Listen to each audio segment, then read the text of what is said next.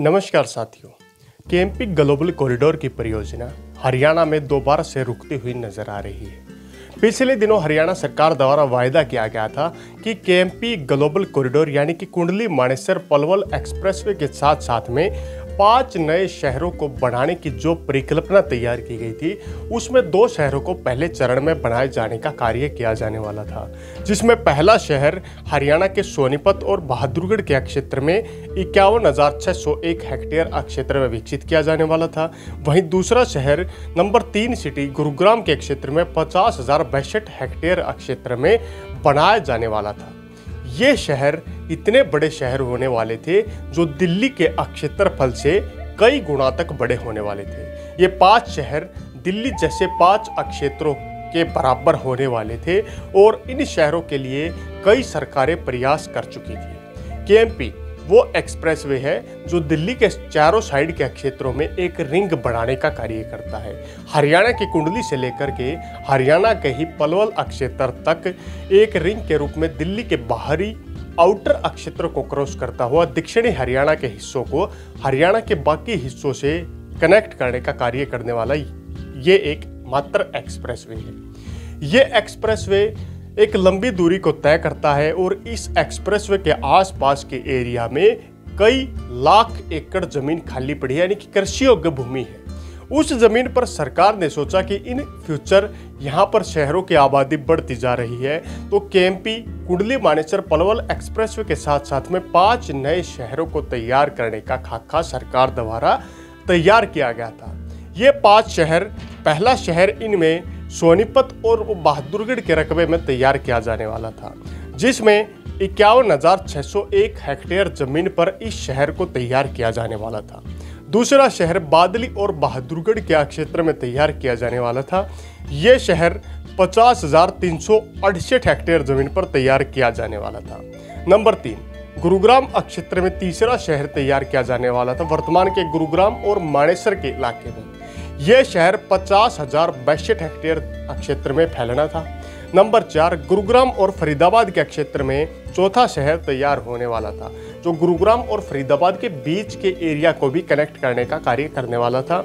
यह शहर उनचास हेक्टेयर क्षेत्र में फैलना था। नंबर पाँच, पांचवा शहर पलवल और फरीदाबाद के क्षेत्रों में डेवलप होना था और यह शहर पचास हज़ार एक सौ छह हेक्टेयर में फैलना था। दिल्ली के हरियाणा साइड के चारों तरफ़ के एरिया में इतनी बड़ी प्लानिंग के लिए कई हज़ार करोड़ों का बजट सरकार को आवश्यकता अनुसार चाहिए था। तो इसके लिए सरकार ने एक दूसरी प्लानिंग को तैयार करने का कार्य किया था। सरकार के अनुसार पहले जो यहाँ पर शहर पड़ते हैं, जिनमें सोनीपत, खरखोदा, बहादुरगढ़, सापला, बादली, मानेसर, गुरुग्राम, फरीदाबाद, पलवल, होडल जैसे क्षेत्रों को के मास्टर प्लान को पहले चरण में सरकार द्वारा डेवलप करने का कार्य किया जाने वाला था। यानी कि सरकार सबसे पहले यहाँ पर मास्टर प्लान के तहत इन शहरों की परिकल्पना को तैयार करने के लिए मास्टर प्लान में यहाँ पर नए सेक्टर, नई आवासीय ज़रूरतों को पूरा करना, नए इंडस्ट्रियल हब को डेवलप करने पर सरकार फोकस करना चाहती थी। सरकार ने इसके लिए मास्टर प्लान्स को इस एरिया में सर्वप्रथम तैयार करने का कार्य किया। जिसके लिए निम्न प्रकार के मास्टर प्लान सरकार द्वारा तैयार किए गए। जिनमें बहादुरगढ़ खरखोदा सापला, गुरुग्राम, फरीदाबाद, पलवल क्षेत्रों के मास्टर प्लान सरकार ने तैयार करने का काम किया। और सरकार ने सोचा कि पहले मास्टर प्लान्स को तैयार कर दिया जाएगा। उसके बाद इन शहरों के बीच की जो भी खाली ज़मीन बचेगी, उस ज़मीन को भी अलग अलग छोटे बड़े मास्टर प्लान के तहत डेवलप किया जाएगा, जिससे शहर बनाने में खर्चा भी कम आएगा और शहर की डेवलपमेंट भी अच्छे से हो पाएगी। और दिल्ली जैसे क्षेत्र में में बड़े लगभग इन पाँच शहरों को दिल्ली जितना बड़ा फैलने में भी आसानी मिल पाएगी। सरकार ने प्लानिंग को तैयार किया।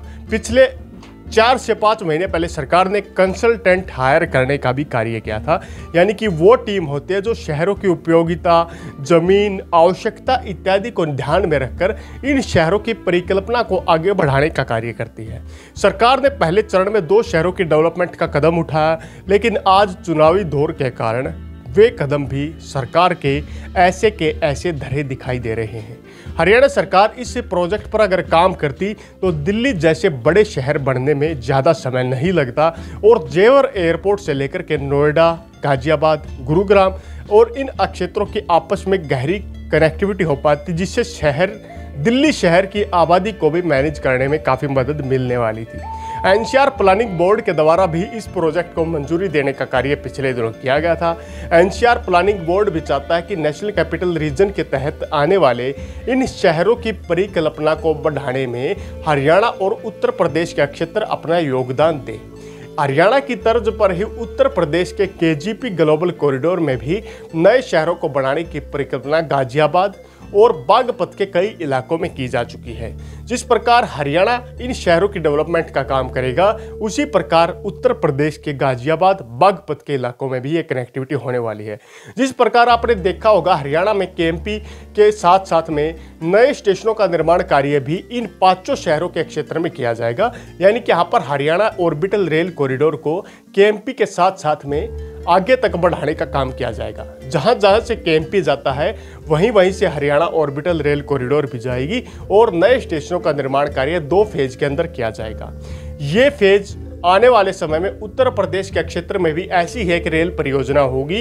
ये पूरी की पूरी रेल परियोजना दिल्ली के चारों साइड में एक रिंग के रूप में कार्य करने का भी काम करेगी और दिल्ली के चारों साइड के क्षेत्रों की कनेक्टिविटी में आउटर लाइन का कार्य करेगी। यानी कि एक अगर आपको आज के दिन नोएडा से अगर रोहतक आना है तो आपको दिल्ली के क्षेत्रों को क्रॉस करना पड़ता है। कई बार आउटर नोएडा जाकर आप के के माध्यम से सीधा बगैर दिल्ली में एंट्री लिए रोहतक आ सकते हैं। इस प्रकार की कनेक्टिविटी को मंजूरी देने का काम हरियाणा, उत्तर प्रदेश और दिल्ली सरकार पहले ही कर चुकी है। तो ये देखने का विषय होगा कि एमपी ग्लोबल कॉरिडोर के तहत क्या दिल्ली जैसे क्षेत्रफल के पाँच नए शहरों की परिकल्पना काफ़ी जल्द साकार होगी या ये प्रोजेक्ट भी अधर में अटक जाएगा? ये सरकार और एनसीआरटीसी यानी कि National Capital Region Planning Board के द्वारा ही मंजूर और पास किया जा सकता है। अब ये देखने का विषय होगा कौन सी सरकार इन पाँच शहरों की प्लानिंग पर ध्यान देती है। क्या एनसीआरटीसी यानी कि नेशनल कैपिटल रीजन बोर्ड भी अपना दखल देकर इन शहरों को बनाने में सरकार पर किसी प्रकार का दबाव डालेगा? क्या ये शहर जो के तो अटके रह जाएँगे? ये देखने का विषय होगा। किया इंडस्ट्रियल एंड कमर्शियल टाउनशिप, सस्ते और अच्छे प्लॉट लेने के लिए nine two zero five four five four nine two zero पर संपर्क करें।